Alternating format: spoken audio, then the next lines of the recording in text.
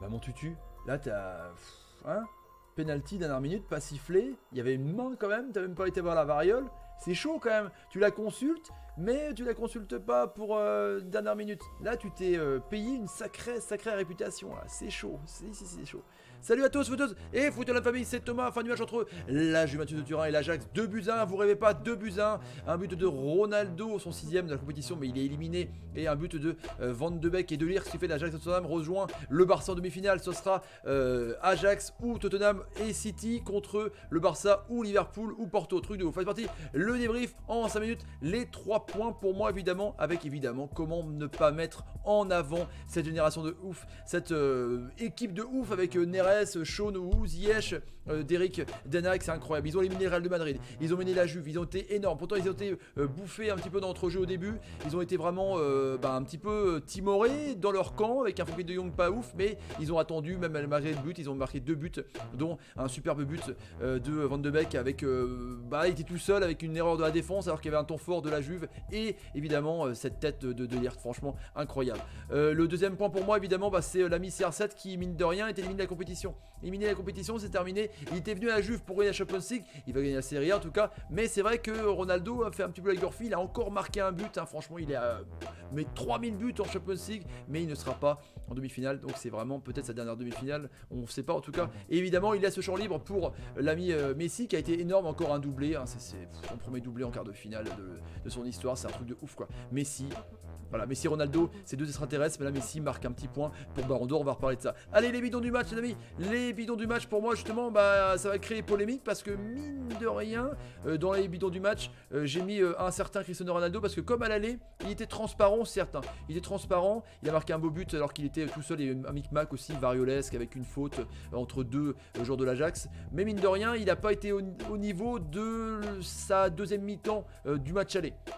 C'était pas le patron quoi. Il euh, redescendait trop bas, il se mettait pas assez en évidence pour euh, jouer en pivot. Franchement, il a pas été officiel, donc je mets dans les bidons malgré son but en tout cas. Mais c'est vraiment euh, comme ça. Allez, l'autre bidon du match évidemment. Et c'est deux bons joueurs que je mets en bidon évidemment. Mais j'ai trouvé Frankie de un petit peu moins bien, un petit peu trop bas, un petit peu peut-être parce que son jeu était pas non plus trop dans la possession de balle. Il était vraiment à la limite d'être presque proche du gardien Onana. Il a pas été assez rayonnant. Je trouve un petit peu en en tout cas, ça arrive. Mais bon, vraiment, vous allez voir les milieux de terrain que j'ai mis, évidemment. L'autre euh, bidon du match pour moi, c'est Matuidi qui a été box to box sur son côté gauche. Il est resté quand il y a des coups de pied arrêtés un peu derrière. Mais pareil, il a été très très pauvre. Il n'a pas apporté assez de percussion comme il sait le faire. Il n'a pas assez apporté de, de, physique. Je trouvais un petit peu absent par rapport à American qui était très très bon en tout cas. Allez, vas-y. Le Jedi du match, les amis. Ça va vous faire plaisir évidemment. Et il y a quand même quelqu'un de la Juventus de Turin qui est là. Bah oui, carrément, parce qu'il a été complètement énorme. Il a tenu c'est vraiment ses coéquipiers euh, en haleine jusqu'à la fin, mais d'abord mon coup de cœur à Ziyech qui est énorme. Le Marocain est monstrueux quoi. Il a marqué un but en enrôlé monstrueux. Il a rappeur marqué deux sur une frappe euh, arrêtée par euh, l'ami Saïsni. On en parle justement avec un superbe face à face, avec un arrêt de handball de Saïsni. Ziyech à chaque fois, je dis qu'il est sous-côté parce qu'il est un petit peu caché euh, du côté de l'Ajax, mais il est énorme. énorme. J'espère qu'il soit face vraiment une grosse, grosse euh, Coupe d'Afrique des Nations. Et mon chouchou, évidemment, c'est euh, Donny Van de Beek qui est énorme. On n'en parle pas parce qu'on parle toujours de Neres, on parle toujours de Choneux, on parle toujours de De Jong, on parle toujours de, Tadic, mais Van de Beek au numéro 10 est énorme. Là, il était vraiment opportuniste. Il y a eu une petite erreur dans la défense de la Juve. Elle a été remis en jeu. Il n'y avait pas hors jeu du coup. Hein. Il y a eu Variol aussi, contrôle. Et du coup, bah, on a vu qu'il a marqué un but à bout portant de Saïsti. Enfin, franchement, énorme. Van de Beek, c'est mon petit coup de cœur. Il est euh, régulateur numéro 10. Il vient euh, amener vraiment en, percussion aussi et en grinta pour gratter des ballons. C'est vraiment énorme. Et puis, évidemment, l'ami euh, qui euh, a sauvé un petit peu les meubles parce qu'il aurait même pu en prendre 3 ou 4 à la Juve, mais il a fait deux super barrés dont cette claquette énorme sur ses frappes enroulées. Il s'est incliné sur une tête et sur un but où la défense avait laissé un peu à mal. Et puis, il a fait un super barré devant Ziyech. En tout cas, Saïsni, un très très bon gardien.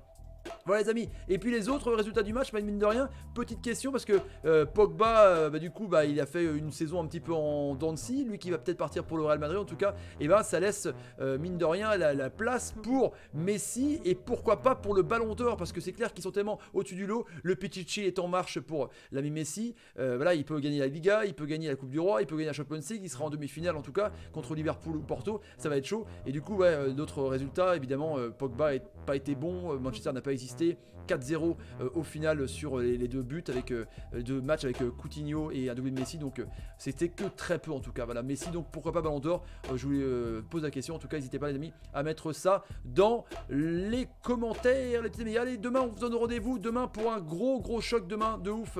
Évidemment, le match entre Manchester City et Tottenham, car ce n'est pas fini encore. City Tottenham, les amis, il y a eu 1-0 sans Kane, le but de Son évidemment. On suivra ça à 8h30 euh, en live sur la chaîne. N'hésitez pas à mettre des commentaires sur euh, vos prestations, vos prestations, vos impressions sur les prestations de Ajax qui sont énormes. Ils ont éliminé le Real et la Juve, un truc de ouf. N'hésitez pas non plus, les petits amis, à euh, vous abonner à la chaîne. Ça mange pas de pain, c'est gratuit et moi ça m'aide de ouf. Et partagez la vidéo sur Twitter, Facebook, Instagram, message chat. Je vous laisse je vous kiffe de ouf et je vous dis à très très vite pour les prochains matchs. Salut, salut, salut, salut, salut, salut et salut les amis. Ciao.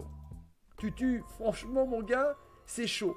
T'as des coronesses de ouf. Si, si, t'as des coronesses de ouf. Je te jure, mon gars, c'est incroyable.